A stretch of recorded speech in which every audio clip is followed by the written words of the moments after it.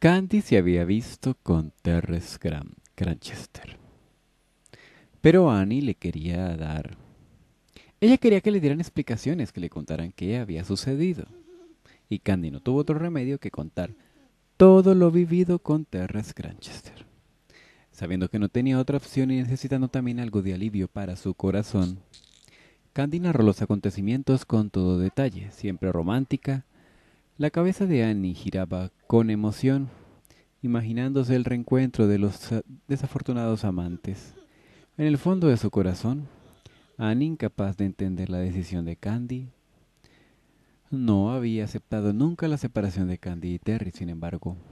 Una vez que se hizo oficial la insensata ruptura, Annie había esperado, más que creído, que algún día su amiga sería capaz de olvidar a Terry y enamorarse de nuevo.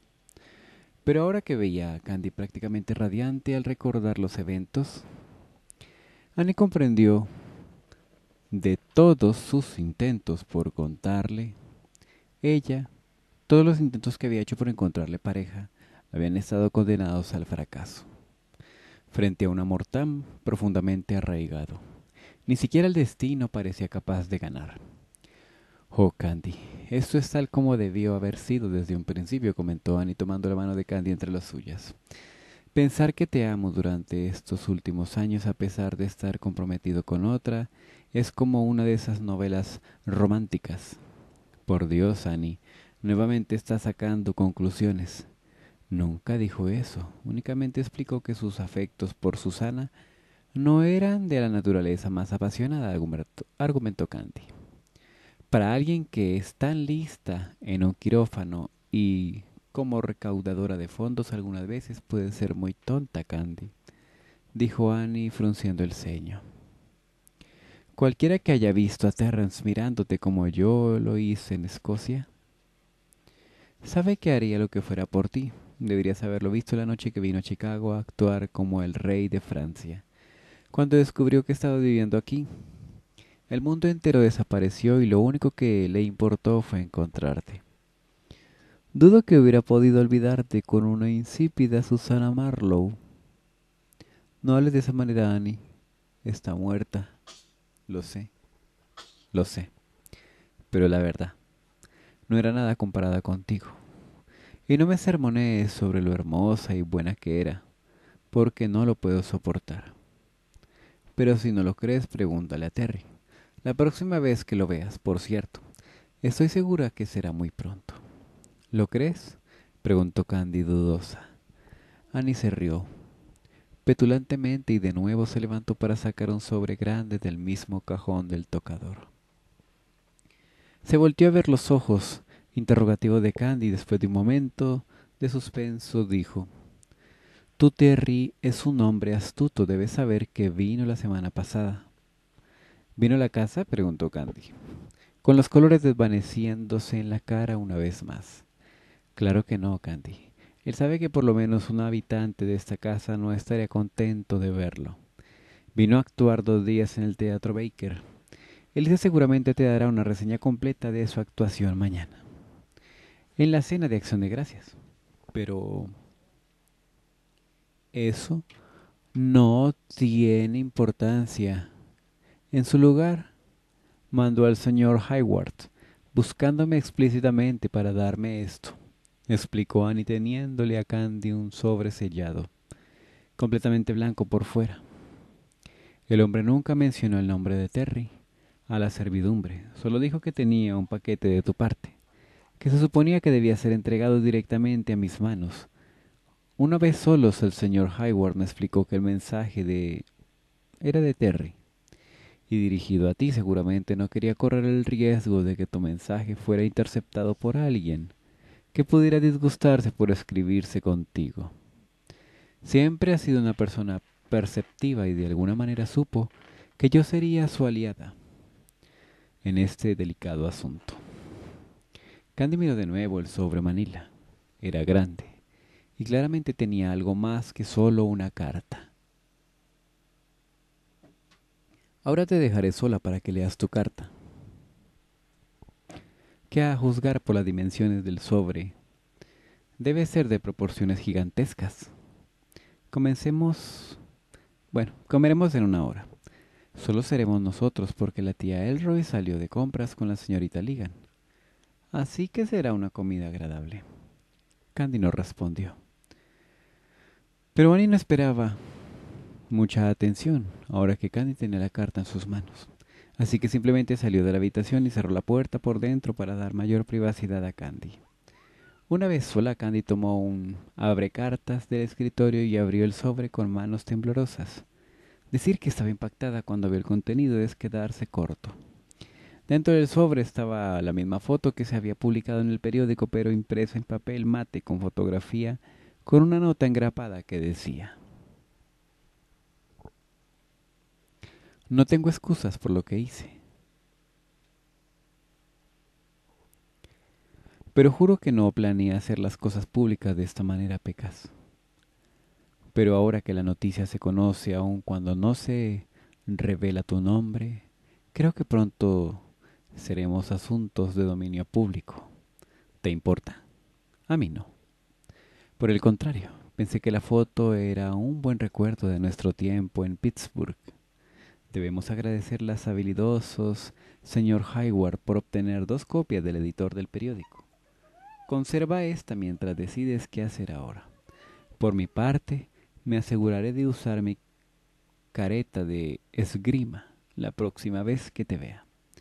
En caso de que tengas ganas de platicar en mi cara tus habilidades para bofetear. Pero le advierto, señorita mía, que de darse la oportunidad repetiré la escena tantas veces como sea posible, sin importar los reporteros presentes. Candy se cubrió la cara con una mano moviéndola con incredulidad. Sus mejillas estaban encendidas. Ese era Terry, siempre mezclando sus descarados comentarios en las más imposibles situaciones. El gesto de mandar la foto como Souvenir era la idea más imprudente que le hubiera ocurrido nunca y encima de todo tenía la impertinencia de amenazarla con repeticiones de la escena que ahora había sido exhibida públicamente. Esto es alarmante, se dijo Candy a sí misma, sonrojándose intensamente. En verdad mereces la bofetada, pero en lugar de enojarme contigo, en realidad estoy deseando que cumplas tus amenazas. Debo estar volviéndome loca.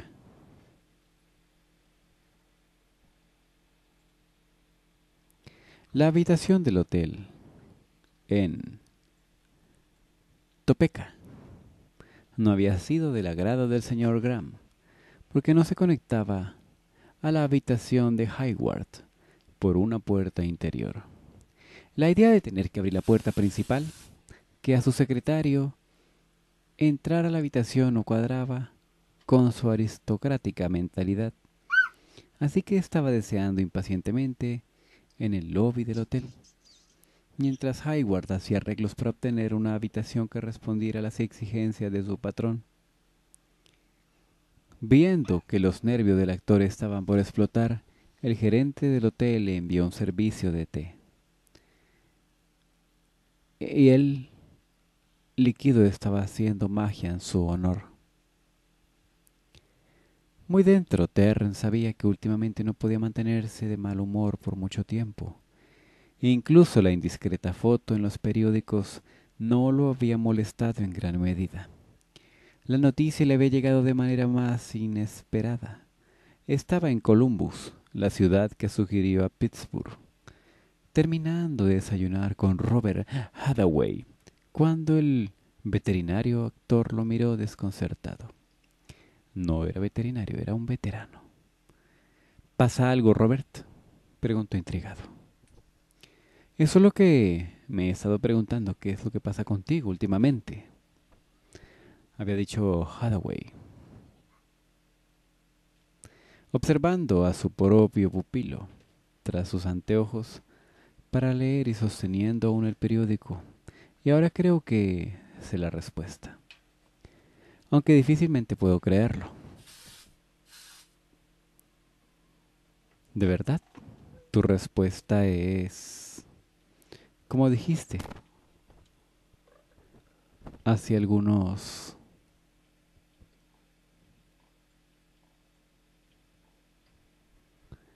Algunos días, contestó Hadaway con una sonrisa triunfante. Fuiste tocado por un ángel. Y diciendo esto, el hombre mayor lanzó el periódico a la mesa para que Terrence viera la foto. Cuando vio el artículo, el joven había tratado de mantener sus emociones bajo control, pero basta un actor para revelar los trucos de otro actor, así que no pudo engañar a Hathaway. No era propio de Terrence ser pescado en tal intercambio íntimo con una dama.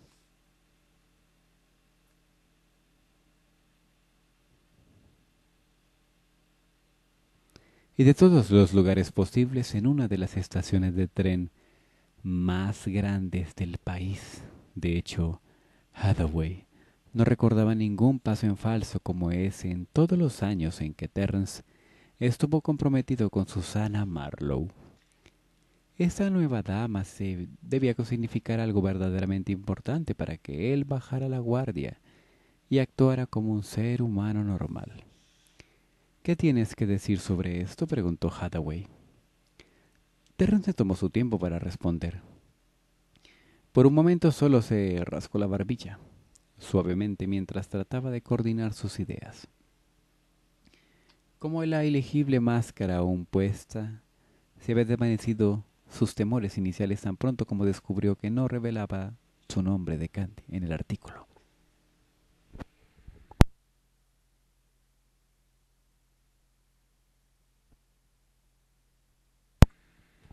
No quería que ella fuera explícitamente expuesta al ojo público. Si aún no tomaba una decisión cerca de sus sentimientos por él, una vez descartado este indeseable punto, el joven vio toda la situación con humor. Creo que es una foto muy mala, dijo finalmente sin perder la adusta expresión. La dama en cuestión es mucho más bella en persona. Terrence recordó que tras su conversación con Hathaway, su principal preocupación había sido la propia reacción de Candy en el artículo. Se había sorprendido a sí mismo con la extraña escena, a pesar de que siempre había odiado y evitado a los reporteros.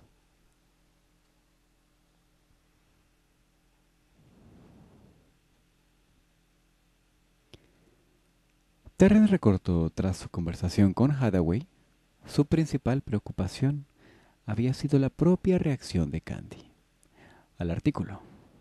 Se había sorprendido a sí mismo con la extraña escena a pesar de que siempre había odiado y evitado los reporteros, ahora estaba más bien complacido con la nota. Después de Pittsburgh, se había preguntado si lo que había pasado había sido solo un sueño. Felizmente, ahí estaba la foto como una prueba tangible de que no había sido producto de su imaginación. Terron se preguntó si Candy sentía lo mismo, impulsado por estos pensamientos, se había tomado la molestia de obtener la foto y después había tramado el plan para entregársela a Candy de manera más segura posible. Mientras recordaba todo eso, sus recuerdos fueron interrumpidos por Hathaway, que había hecho los arreglos necesarios para obtener la habitación que el actor había solicitado en cuestión de minutos. El señor Graham estaba instalado en solo estaba solo en su recámara con una carta de su ama de llaves.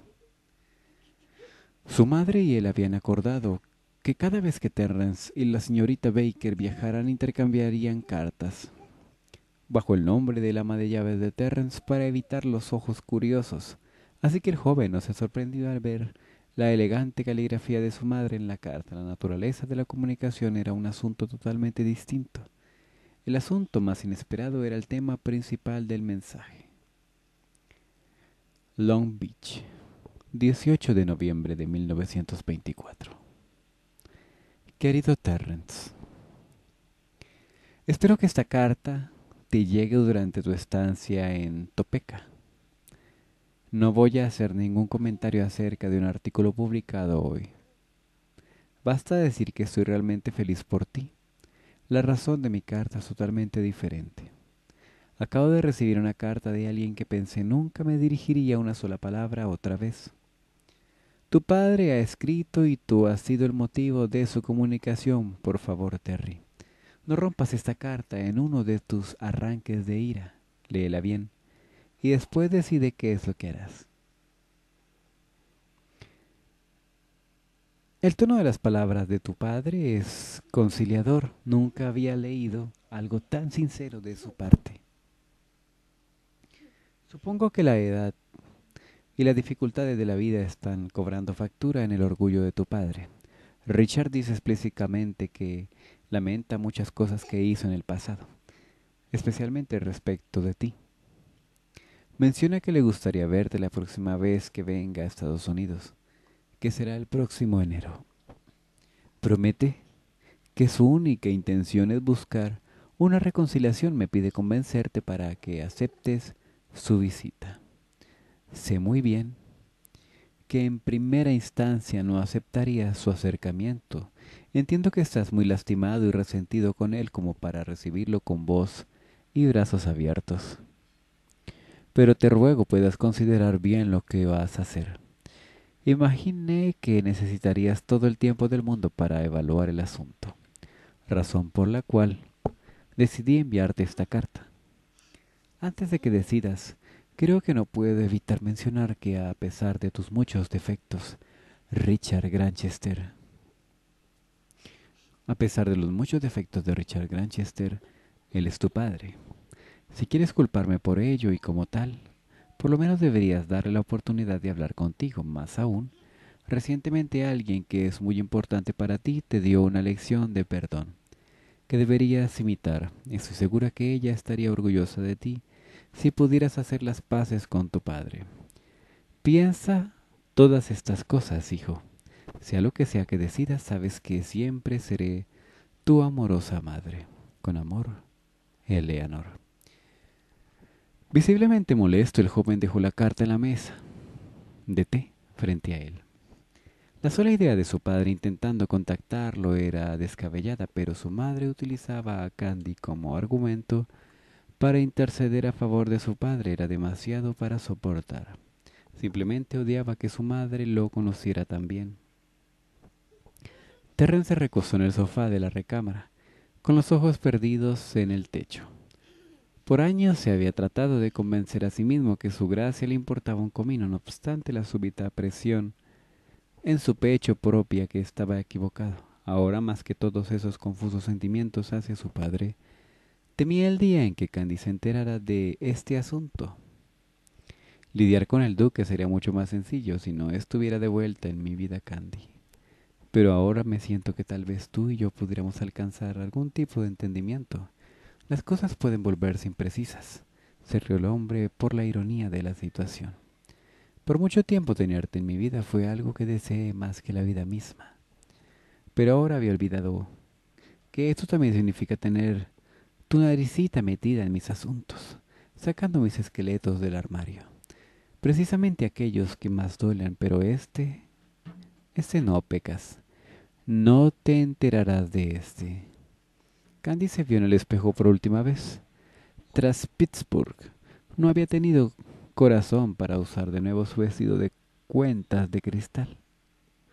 Así que decidió comprarse algo distinto. Había escogido un vestido verde oscuro de crepe de China con piezas laterales bajo un corpiño sin mangas. El talle bajo esta estaba adornado con pequeños lazos a la altura de la cadera izquierda. La falda, que llegaba a los tubillos, era de encaje del mismo color. Le gustaba el efecto del vestido del color oscuro sobre su blanca piel. Aun cuando la palidez parecía estar pasada de moda, Candy sabía que un look bronceado era imposible para una rubia como ella. Pero ya que nunca había sido una esclava de la moda, no se preocupaba por su palidez ni por sus pecas. De cualquier forma, sin importar cuánto se esforzara por dar la talla esa noche, sabía que algunas damas de la ocurrencia encontrarían fallos ya fuera en su atuendo, su conducta, sus palabras, ya que no servía vestirse para complacer a otros. Decidió complacerse a sí misma, miró otra vez a las joyas que había escogido para la ocasión y le gustó el efecto de los brillantes que portaba. El discreto collar y los aretes habían sido un regalo de cumpleaños de Albert. La joven dejó el espejo y estaba buscando sus guantes cuando un característico toque en su puerta le dijo que Albert estaba listo para recogerla. Albert estaba listo para recogerla. Pensó que era un poco temprano, así que creyó que él quería aprovechar para hablar con ella un momento antes del espectáculo iniciara. Entra, está abierto, llamó volteándose para recibir un hombre con sonrisa. ¿Cómo me veo? preguntó. ¿Te ves bien? Sabes bien que eres hermosa, respondió él dándole un pequeño beso en la mejilla. Ve y díselo a la, a la tía Sara y a la prima Elisa. Bromeó invitando a Albert a sentarse en la estancia de la habitación. El hombre la siguió sentándose en el sillón verde claro mientras Candy le hacía en el sofá. ¿Qué sucede, Albert? dijo optando por el acercamiento directo. Conozco esa mirada algo preocupada. Eres peligrosamente perceptiva, niña. Estás en lo correcto. Vine porque quería aprovechar para hablar contigo antes de la cena. Hay un par de cosas que últimamente me molestan. Una de ellas tiene que ver con la tía del rey. Preguntó frunciendo el ceño, casi imperceptible. He notado que ha perdido algo de peso. Otra vez tienes razón. Hace un par de meses el doctor le diagnosticó diabetes. Dice que no hay cura. Hay una oscura sombra. Una oscura sombra que usó los ojos de Albert. Candy se quedó callada por un momento, sabiendo bien que lo que la enfermedad implicaba.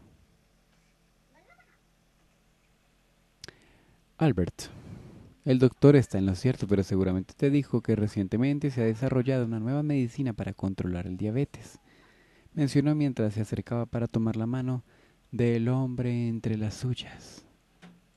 Lo hizo, pero también explicó que debe cambiar su estilo de vida para ayudar con el tratamiento y eventualmente se perderá la batalla. Sé que la muerte es la parte del vida y, considerando su edad, es algo que deberíamos preparar. Tenemos que esperar tarde o temprano, pero no, no me puedo acostumbrar a la idea. Ella siempre ha sido tan fuerte, independiente, siempre está ahí, siempre parte de mi vida. No es que la tía Elroy nos vaya a dejar mañana, Bert. El tratamiento que insulina... Mira, hay un tratamiento de insulina. Es nuevo y no sabemos cuánto pueda vivir una persona al usarlo, pero por mucho es una mejor opción comparada con lo que antes teníamos. Candy hizo su mejor esfuerzo para animarlo, pero debería cooperar con el tratamiento especialmente con relación a su dieta. Eso es precisamente lo que me preocupa. Sé que la servidumbre le es muy leal a pesar de sus modales rudos, pero no los escuchará. Necesita que uno de nosotros verifique que está haciendo el tratamiento y reñirla un poco.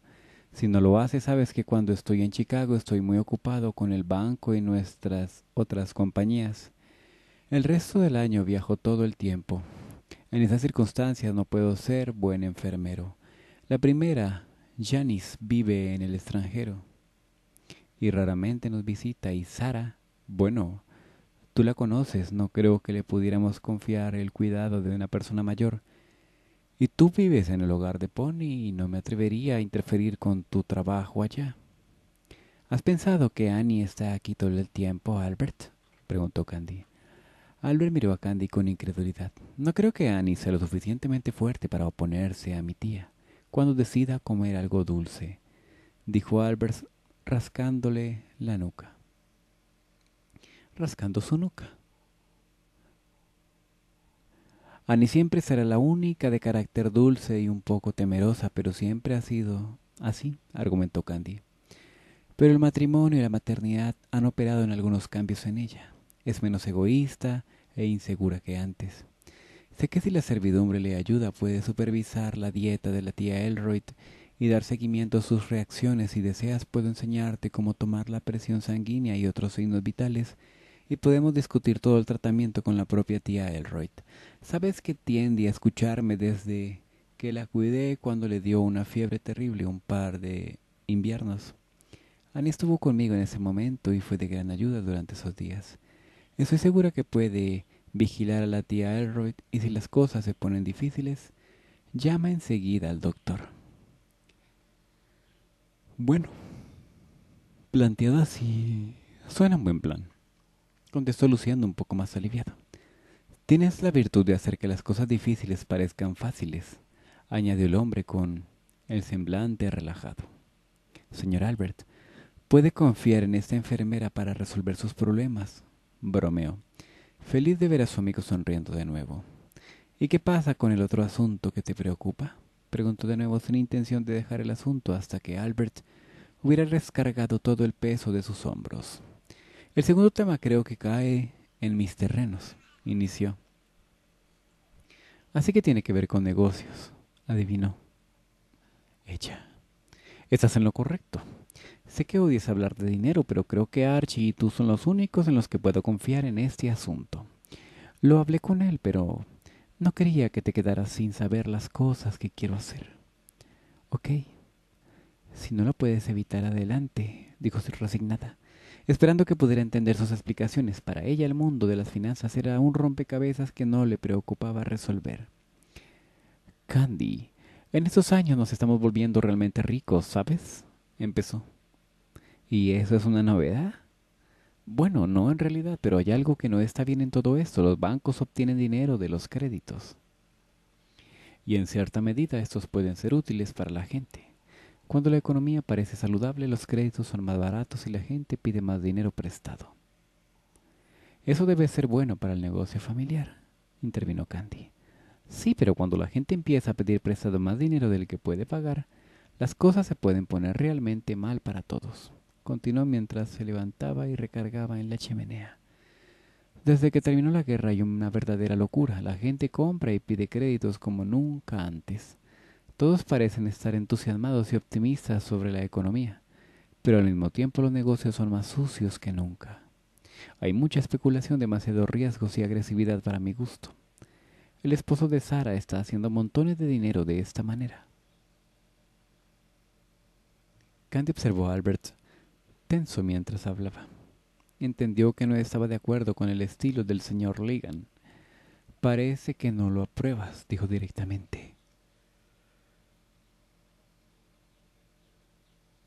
No del todo, Candy. La gente con dinero, como nosotros, tiende a creer que el mundo está al alcance de su mano. Olvidamos que el poder que el dinero nos otorga también nos da una gran responsabilidad. Cientos de familias dependen de nuestra empresa para su sustento diario. Si solo pensamos en nuestro propio bienestar, tal vez acabaríamos volviéndonos más ricos. Pero eso solo significaría que otros se volvieran más pobres. Eso no es lo que creía mi padre. No tuve la oportunidad de conocerlo como hombre de negocios, pero me le enseñó a George todo lo que sabía y yo también tengo ojos y cerebro para entender la realidad que nos rodea. Temo que toda esta estabilidad y crecimiento económico no se sostengan por siempre como algunos creen. Si sobreviene una crisis, tener la mayoría de nuestros bienes invertidos en negocios especulativos sería muy peligroso. ¿No estás pensando en realidad que los Sandri pudieran llegar a morirse de hambre o sí? preguntó Candy asombrada ante la posibilidad. Eso sería difícil, dadas nuestras conexiones e influencia, respondió Albert compartiendo su asombro. Pero si nuestra fortuna se reduce dramáticamente, tendría un impacto negativo en las vidas de todas las personas que trabajan en nuestra empresa.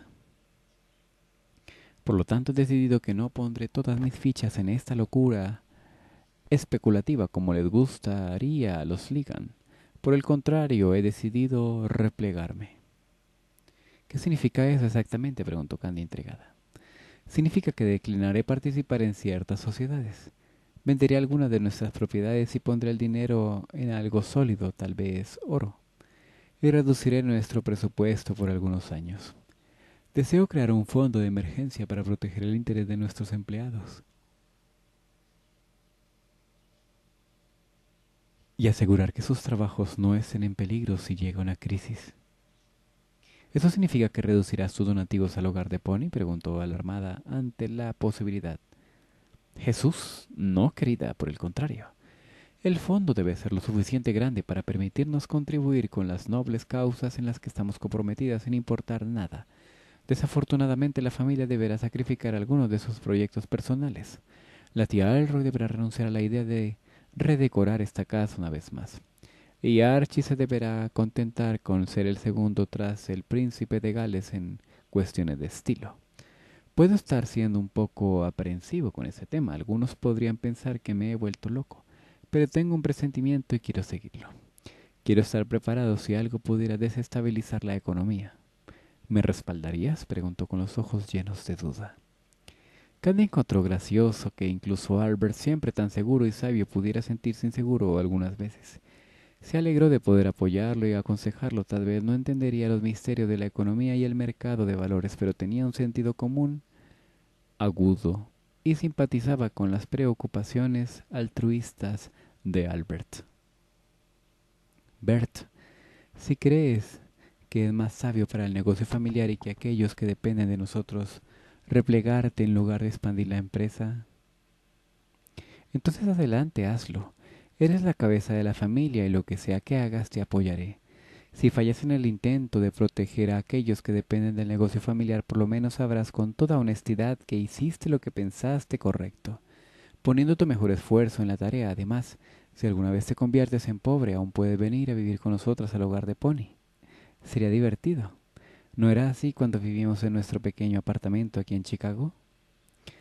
La cara y los hombros de Albert se relajaron con las tranquilizantes palabras de Albert. Fuimos muy felices entonces, ¿no? preguntó él mientras abría los brazos para abrazar a la joven. El dinero puede ser útil, Bert, pero uno puede seguir con solo un poco. Si es necesario, hay otras cosas que, cuando faltan, nos hacen más miserables e infelices, respondió ella descansando la cabeza en su pecho. Ambos permanecieron así por un momento. El silencio que siguió era cómodo y en cierto modo necesario. Candy, dijo el primero, rompiendo el silencio. Te conté lo que tenía en mente. ¿Qué hay de ti, niña? Yo te conté lo que hay en mente. ¿Qué hay de ti, mi niña? ¿Cuándo me vas a decir qué es lo que tienes? Este par de días no has sido tú misma, preguntó el hombre mientras levantaba su cara con la mano derecha. Es, es complicado, Albert. Inició sabiendo que debía contar con detalle a su padre adoptivo los, los acontecimientos recientes. En ese momento el reloj de la habitación marcó las ocho en punto. ¿Podemos hablarlo después de la cena? Me tomaría algún tiempo decirte todo. Tal vez tengas razón. La tía Elroy debe estar esperándonos para escoltarla al comedor. Hagamos esto, sugirió mientras tomaba de la mano a Candy, conduciéndola hacia la puerta. Tras el café y acostumbrando el momento musical, discúlpate con todos y espérame en la biblioteca. Tan pronto me pueda deshacer de los invitados, te veré allá. Y diciendo esto, ambos salieron de la habitación verde, confiando en su fuerte amistad y afecto para enfrentar a las hienas en la cena. Desde que Priscila Andri falleció, la tía Elroy había sido la anfitriona en todos los grandes eventos y reuniones de la familia. No obstante, en los últimos tres años la dama había delegado esa responsabilidad en las jóvenes, pero capaces menos de Annie Corwell.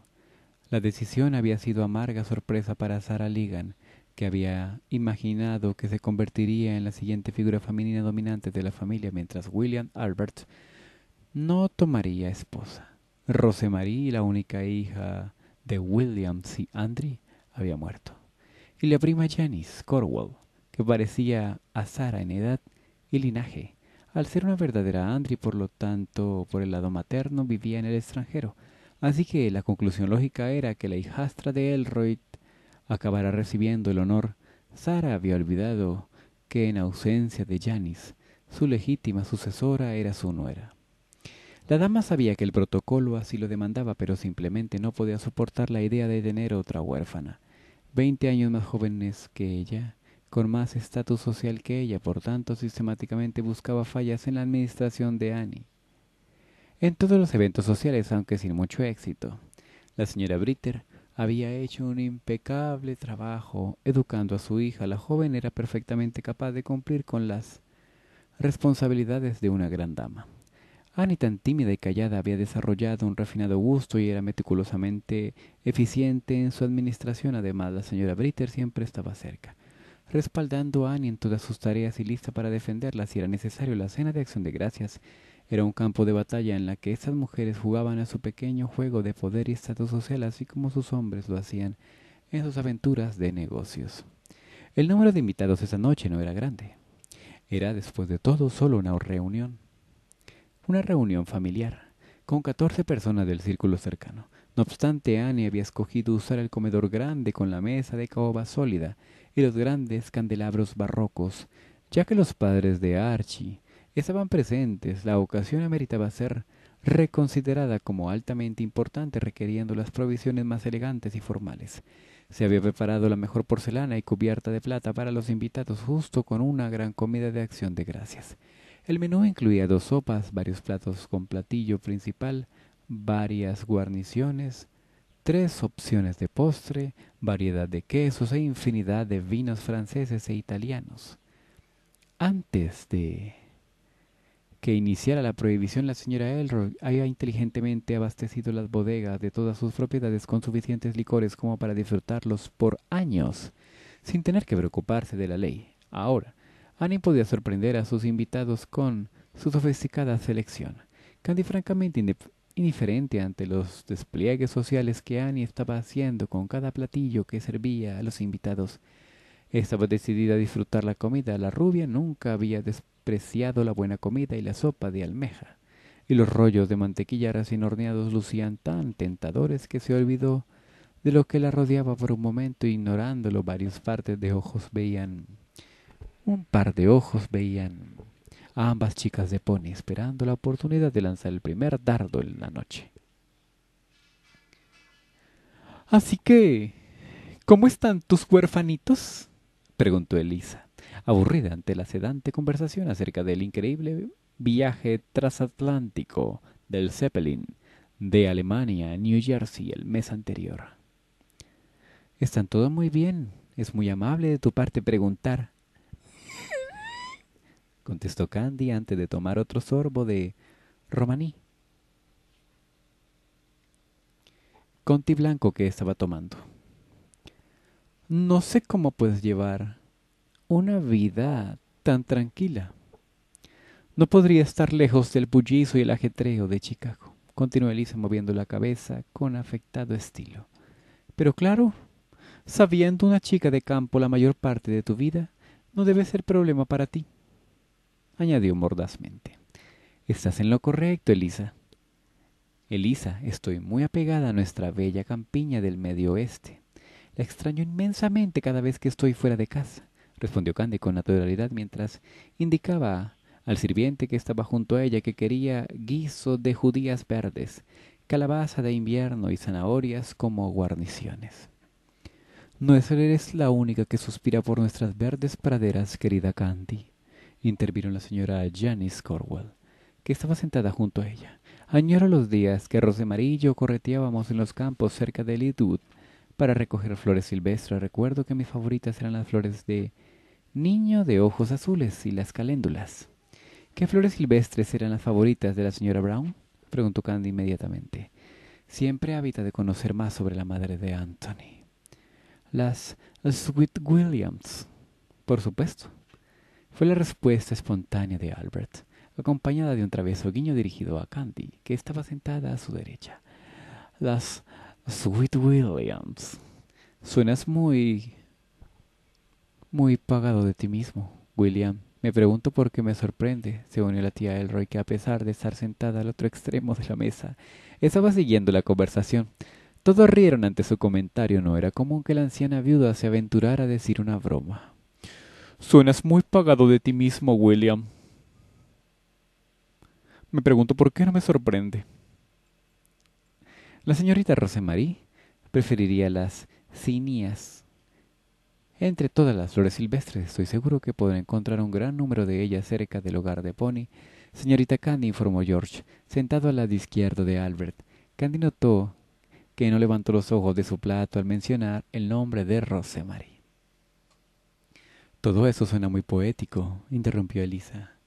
Descontenta con el cambio de conversación, pero insisto que la vida en la ciudad ofrece una gran variedad de entretenimiento y ocupaciones. Por ejemplo, no hace muchos días tuve el placer de asistir a un nuevo evento por demás encantador, sugirió, picoteando el pato glaciado de Long Island que había escogido como platillo principal. ¿Serás tan amable de compartirnos los detalles? preguntó Candy, previendo lo que se avecinaba. Oh, bueno, sabes que Chicago siempre ofrece inmensidad de entretenimiento de alta, de alta calidad. Fui al teatro hace unos días para ver una obra de Shakespeare. Debes recordar que siempre he sido una entusiasta admiradora del bardo desde la secundaria. El bardo. Candy dirigió a Elisa una sonrisa condescendiente. Por lo que recordaba, Elisa pasaba la mayor parte de las clases de literatura de la hermana Margaret dormitando y soñando despierta. Dinos, ¿qué hora viste?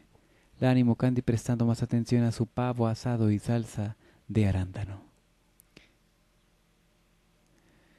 Macbeth me presionó absolutamente.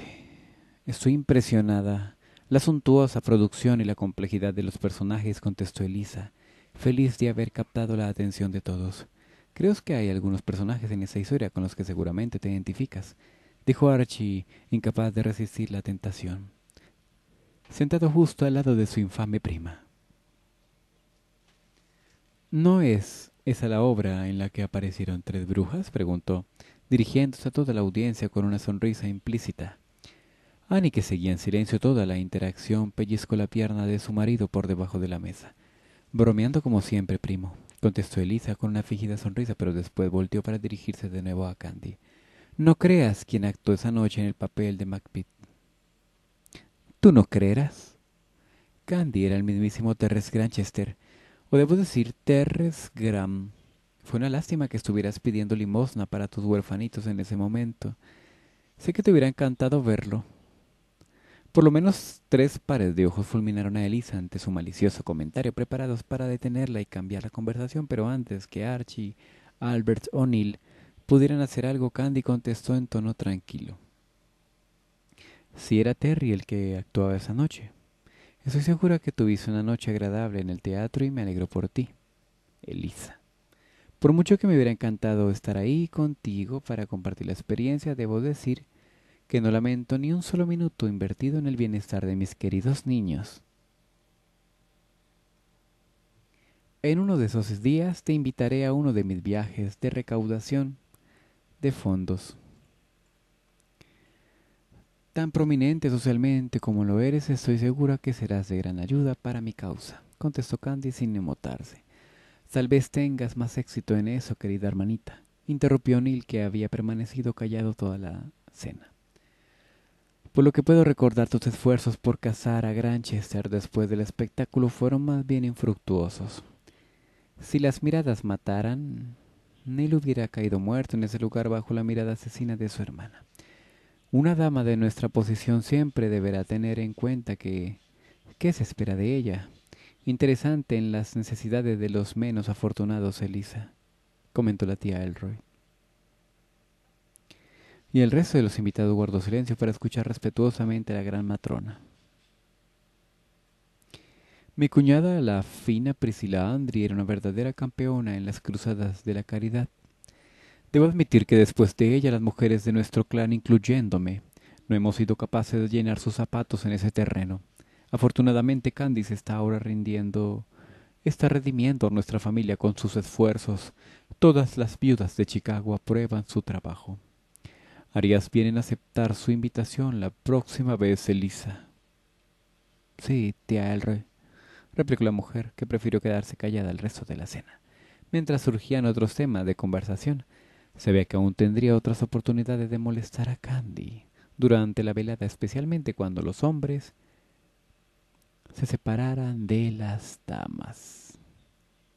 Albert miró a Candy, que estaba disfrutando felizmente de su pie de nuez pecana mientras hablaba con el Sir Cornwall, padre y esposa. Ningún rastro de compostura podía apreciarse en su cara después de que maliciosamente Lisa había sacado el tema de la visita de Terry. A Chicago estaba orgulloso de la manera en que había manejado la situación y se preguntaba si finalmente había concluido el duelo. Tras la dolorosa separación, Albert sonrió internamente pensando que era tiempo después de tantos años sintiéndose contento con la forma en que iba transcurriendo la velada, continuó disfrutando su langosta.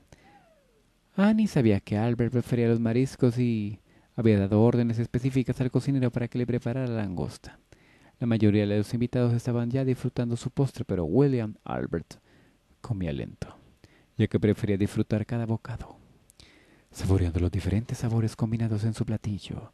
Después de todo, era su prerrogativa como jefe de la familia hacer la cena durar hasta que hubiera terminado completamente y estuviera satisfecho. Mmm, está delicioso este pavo, Dios mío. Felicidades al cocinero. Cocina espectacular. Qué gran cena. Y mucho más con la compañía de Candy pequeña. Además sabía que tras la cena las damas y los caballeros se separarían y los hombres se reunirían en el salón francés para disfrutar de coñac y puros, mientras que las mujeres se quedarían en el salón del té. Temía el momento ya que sabía que los ligan lo tratarían de convencer para participar en sus proyectos.